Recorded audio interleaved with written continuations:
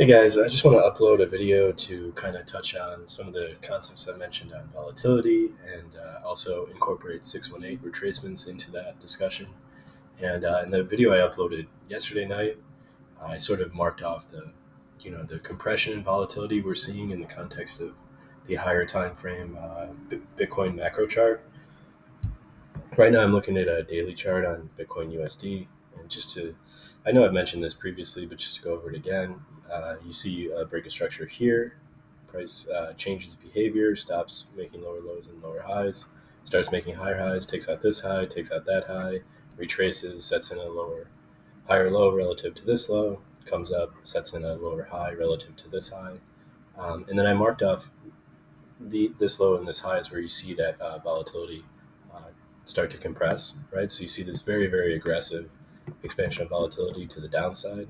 Uh, where I believe interest rates uh, hikes were getting priced into the market, and then you see a uh, break of structure and a you know not not essentially the same uh, trending move, but a very expansion of volatility counter trend, and then you see uh, this compression of volatility into a uh, you know your your higher low, lower high setup, and I just uh, so I marked off this low and this high is is that area where the range really begins to compress and I drew a 618 over that. So um, you probably see it a little bit better on the four hour chart. But yeah, essentially you uh, come down here, hit your 618 retracement, come up, hit this bearish retracement, and you can see how it's creating this narrowing range.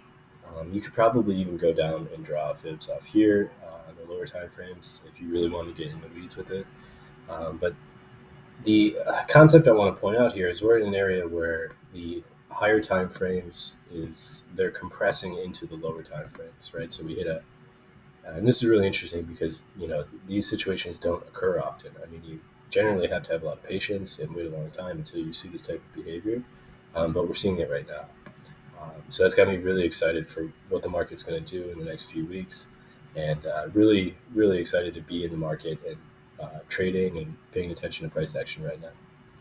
Uh, so we've got our weekly level, and then our daily level.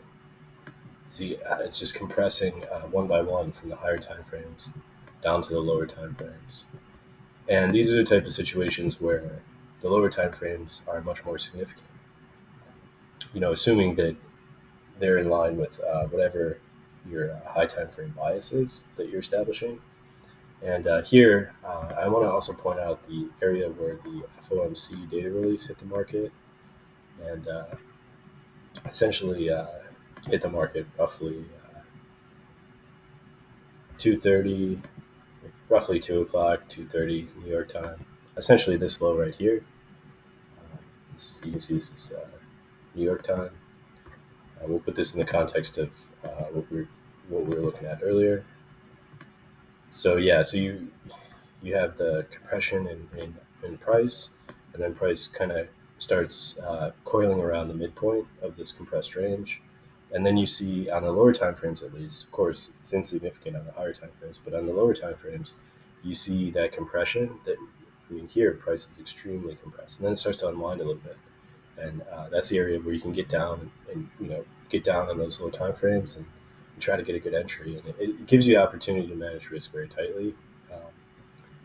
So here you see, you know, volatility is increasing in it, you know, in a, as we approach FOMC. Technically, the FOMC is going on here, but the official data release I'm marking off is this level right here. And so we hit that point this afternoon. I just go down to a three minute chart. Again, the time frame, you know, doesn't matter. It could be three minute, four minute, five minute, whatever. Um, but here's essentially uh, that 2:30 New York time. FOMC uh, data hits the market. And uh, you can see uh, price sort of reacts off that level and um, starts running for the highs. Now, uh, I would conceptualize this area here as a price swing, and however you conceptualize a price swing in your trading methodology, uh, I would I would do that here, and I would I would use this low as the uh, the, the low that you're anchoring that price swing to and then whatever price distinctions you want to trade in here, um, you know, uh, that's different for everybody. But essentially, you know, uh, for the current price, uh, maybe maybe you were playing really tight to the market and you saw this initial move up, and maybe you entered right here and you've got a better entry. Uh, but essentially, you could use this uh, low to manage risk on this uh, this low time frame idea, and that's uh, essentially you know now it's price is uh, relatively extended, but not extended in the context of what's going on on the larger time frames, right? If this if this area breaks up, then that two thousand dollars of risk is uh, is not really that significant. It could, uh, you know, probably reach for these highs relatively, at least in the intermediate term. So you're looking at a, you know, a, a twenty to one or fifteen to one risk to reward trade uh, when you get this type of volatility compression.